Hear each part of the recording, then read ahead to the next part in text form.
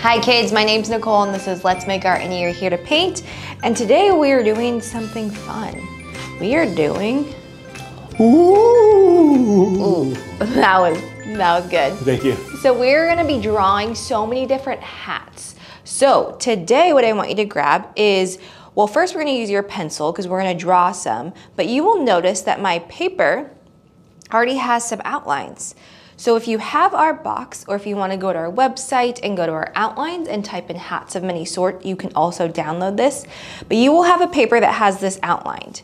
Then what I want you to do is I want you to tape it to the table like I did so it doesn't move a lot because we're gonna be painting and drawing on the whole thing. Then we have our watercolors. We're gonna be doing using watercolors today. And I have a couple different colors. Now you can grab any color if you have, but today I'm gonna be using tangerine, which is an orange. Those sound really good right now. Mm -hmm. We have emerald green. We have berry blue and we have violet. So we're kind of in this theme of all these different colors. So grab that, have your palette, because we're gonna use that to put our paint on. We have a any type of water cup and your brushes. Now I'm gonna be using both a big one and a small one because it will help with the different size spaces that we are painting on.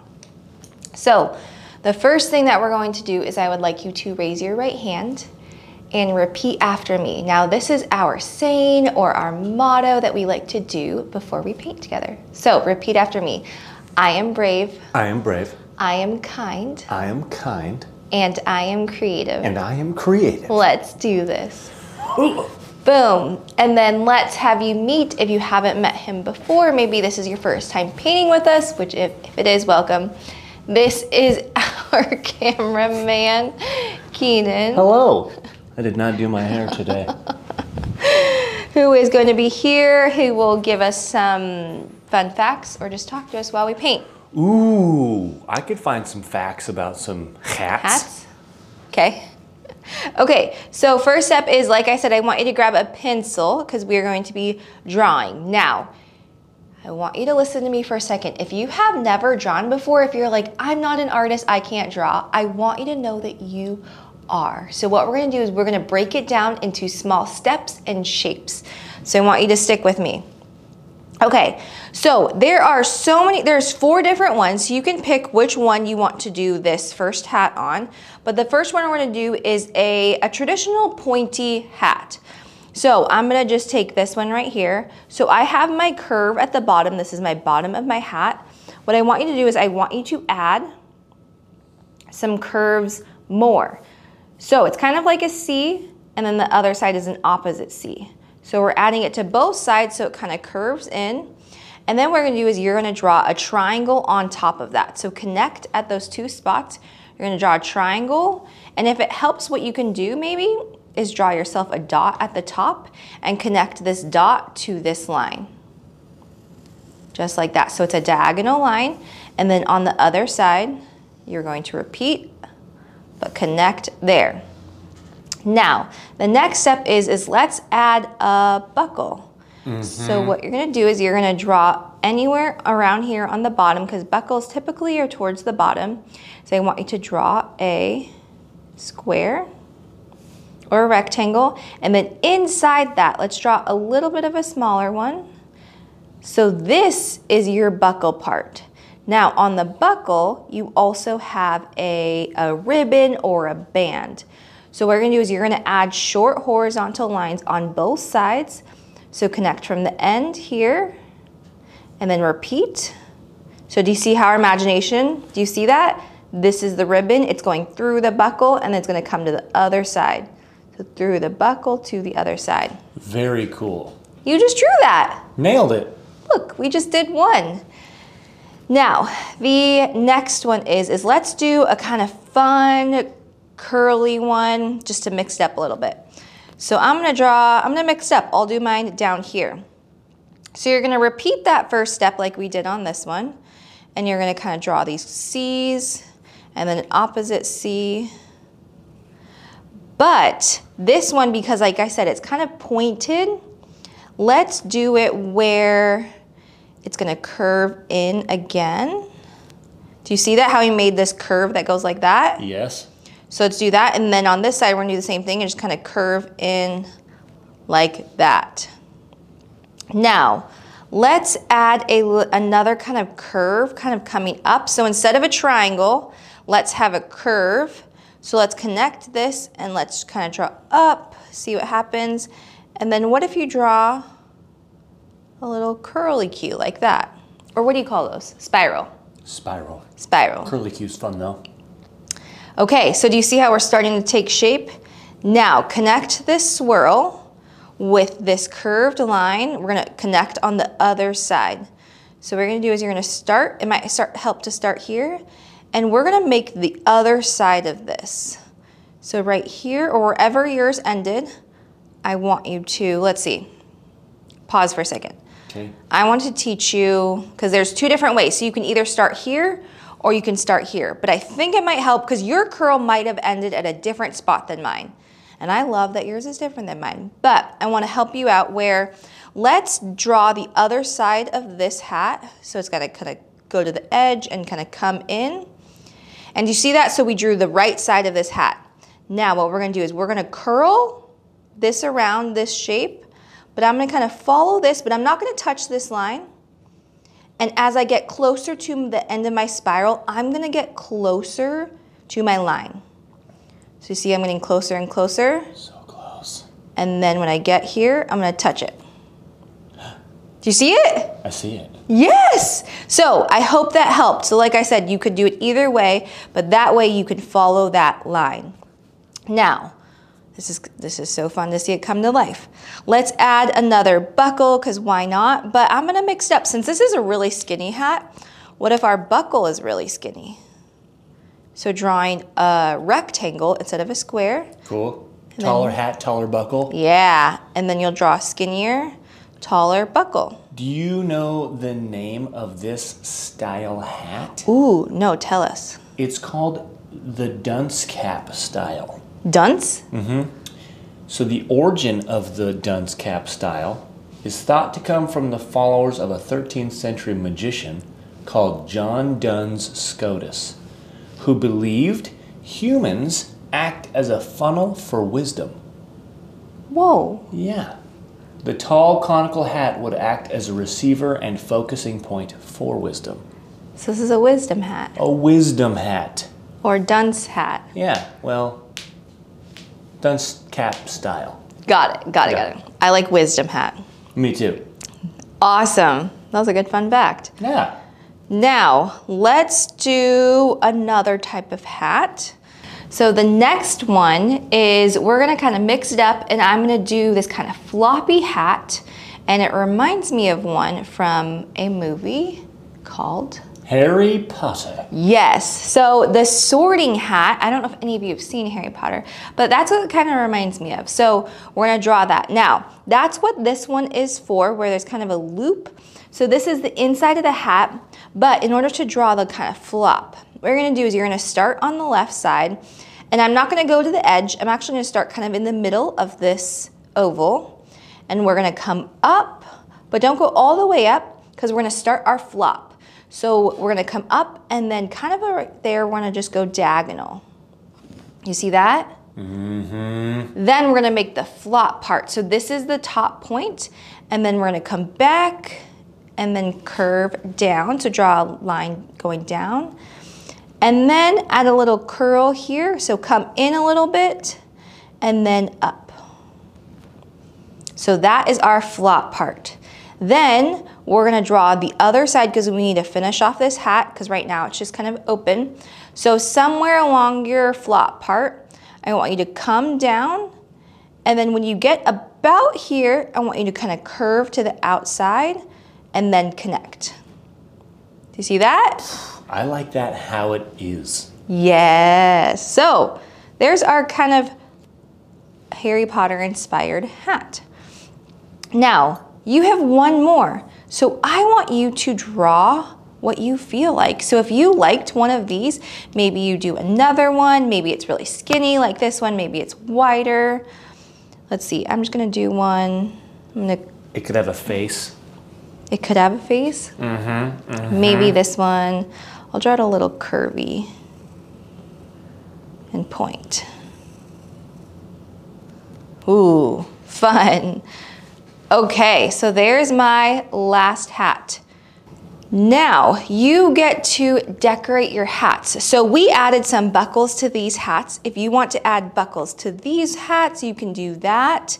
I am kind of in a stripey mood, so I'm gonna add some stripes to my hats. So that just means I'm gonna draw some lines across. Let's see, I'll draw this one or paint that in. Ooh, the one that's folded, you could make maybe make it look like it's had more years being worn, so it could have a couple patches on it or something. Ooh, that's a cool idea. So draw like a rectangle and then kind of some lines. It's kind of what patches look like. Yeah. Nice. then let's see, this one, maybe I'll add some, since it's kind of curly, I'll add some curl stripes or curved stripes.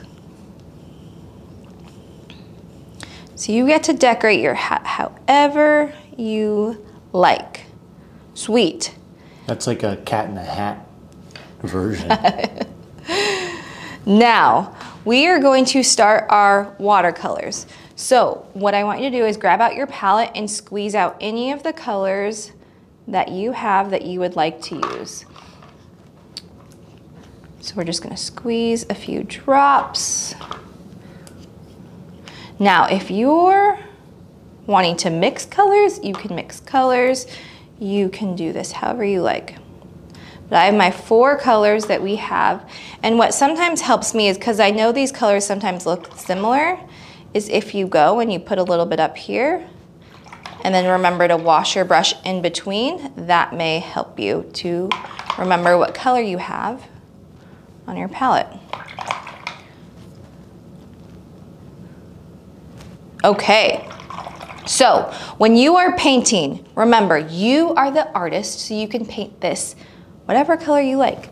But I wanna teach you a few fun techniques that you can use on your painting. So the first one is painting kind of an ombre look, which means it's gonna go from one color to a different color seamlessly. So what that means is I'm gonna start with one color and you're gonna paint it. So I'm just gonna start with my blue, but again, grab any color that you like. So I'm gonna start with blue. Maybe I'll paint all the way down. But I wanna go from blue to purple. So you put your one color down. Then what you're gonna do is you're gonna pick your next color that you want to move to. So I'm gonna go from blue to violet. But what I wanna do is I wanna pick up a little bit of my violet. And remember to clean your brush. And I'm gonna paint a little bit of violet just in the middle part. So do you see how I'm painting on top of the blue? And it's making it kind of like a navy. It's not quite violet, it's not quite blue and kind of just painting the middle part. Then what I want you to do is I want you to wash your brush, get some water on it, and then you're gonna paint the bottom violet. So we just transitioned and moved from blue to kind of a mixture, so kind of a navy, and then violet. So there you go. Now, I realize when I'm painting this that this brush was a little bit big for this small of a hat.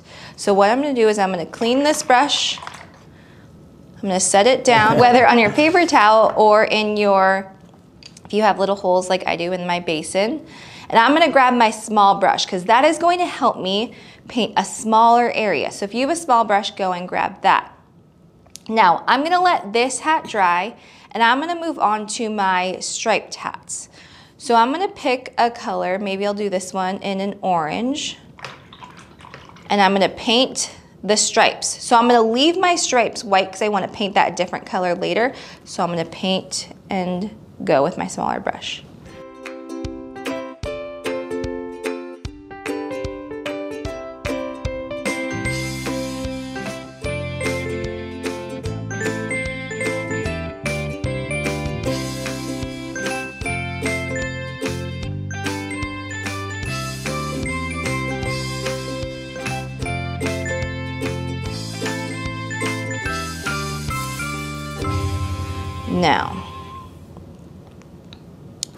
There we go. Whenever you switch colors, I want you to remember, swish in your water because we're gonna change color so that way it doesn't get muddy. So for this hat, I wanna teach you a watercolor technique called wet on wet. So that means we're gonna start with wet paint and then we're gonna add more wet paint on top of it. So the first step is painting your first layer.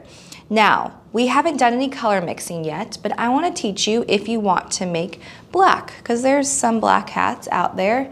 So to do that is you have blue or your berry blue and you have orange or your tangerine. If you mix equal parts blue, so I'm gonna do three drops because I want a little bit more, and let's do three drops of the tangerine. So if you mix equal parts blue and equal parts tangerine, I wanna see what I get. Whoa! Ooh, can you pull that down a little bit for us? There we go, we just made black. Thank you. So again, I did equal parts. So however many drops of blue, do the same amount of orange. Now, I'm gonna take my color, whatever color you did, if you did black, paint it with me. And I'm gonna paint the whole thing And I want you to move a little bit quickly because we're gonna do the wet on wet technique like I said in the beginning. So paint this whole thing. I'm gonna go around the buckle and the ribbon, add a curve. And you'll see when I'm painting, I'm not worried about going inside the lines. You might go outside of it and that's okay. Our lines are just there kind of as guidelines. They're just there to help us if we need them. So while it's still wet, let's quickly go to another color. So I'm gonna use my brush, swish it out because I wanna change it, the color, and let's see what happens if I do some blue. So I have blue on my brush. Now what I want you to do is with lots of blue on your brush, I just want you to hold your pen or hold your brush, point it up, and I want you to just go like this and just add a drop and add a drop. Boop boop, boop, boop, boop, boop, boop. Boop, boop, boop. you got that one. So do you see how because our black was wet and we're adding blue to it, it is making these cool color explosions and these dots and it's expanding into the color that was already there. Fun! Now what if we add some cool. I want to add some purple. Oh, I love watching it just expand. And you never know. Here's the beautiful thing about watercolors. You don't know what you're going to get. And that's kind of fun to see and to play and to experiment and see what happens. So Plan the shape and wait for the surprise of the color. Yeah, see they kind of blended together on those ones. That's so fun to see what you get. Sweet. Those would also be good spots for an egg. Yeah. Okay, so now what I want you to do is you're actually going to wait. So we did our first layer on all of these hats and we're gonna do the next layer, but I need it to dry. Now you can either go pause and go take a snack break, or if you have, we have this heated craft tool and I'm gonna dry this. Now, I let my painting fully dry, so what we're gonna do is we're gonna add another layer. So these are fully dry, but I'm gonna start with my buckle. So I'm gonna grab my small brush because this is a really small area, and I'm gonna paint my buckle. Let's paint it like an, a light orange. Mm -hmm. So I want you to paint your buckle. Again, you can make this any color that you would like. Then on the same hat that you paint your buckle, what I want you to do is I want you to paint the background any color. Now this is a really big space, so I'm gonna actually switch to my bigger brush. I'm just gonna paint it orange since I have orange. And we're gonna paint the whole background. Now when you get close to your hat, it's okay if you touch it, just kind of go around it if you can. And if you want a lighter color, kind of like I'm doing right now, you can just add more water. So I'm painting, but there's more water on my brush So that's how it makes this really light orange. So if you wanna make a light blue, you would add water to your blue. If you wanna make a light purple, you would add water to your purple. So I'm just painting around. And the bigger brush helps me to cover more space. Now, repeat the same thing on what else has a buckle. This one has a buckle. So let's do that one. And the other thing, the reason why I want to explain to you why I'm kind of doing these two actually is because if I were to paint this one in the background, it would, it's touching this, so it might kind of blend the background color. Mm. Now, if you like that, it's okay to do that. But if you want to have one where it's like this, where there are four different colors, then I want you to do the diagonal one. Because if we were to do this bottom one, it's the same thing. Do you see that? Got it, yep. So let's do this one.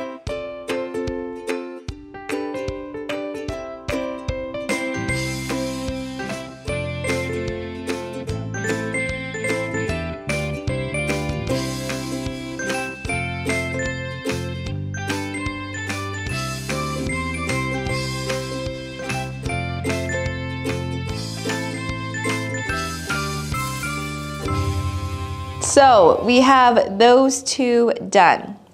Now, you can either wait or if you want to keep painting, let's do these two.